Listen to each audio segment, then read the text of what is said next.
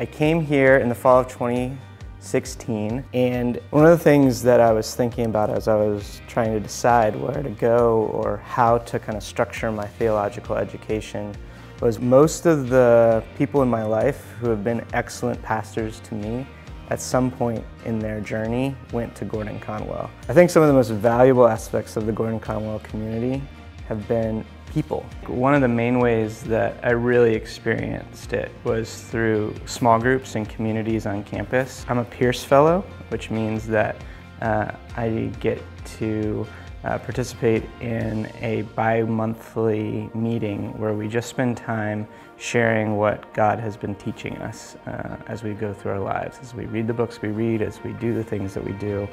What have we noticed about what God is doing in our lives? And so the thing that I think was initially striking to me was that I wasn't going to be doing this alone. There was going to be people around me who could help kind of usher me into a very new rhythm and way of life uh, I had been experiencing before. And it was helpful to have not just the scriptures tell me about how to keep pressing forward when I was tired or doubtful or discouraged, but to have actual people who knew me, knew my story, uh, and could speak wisdom and encouragement into my life.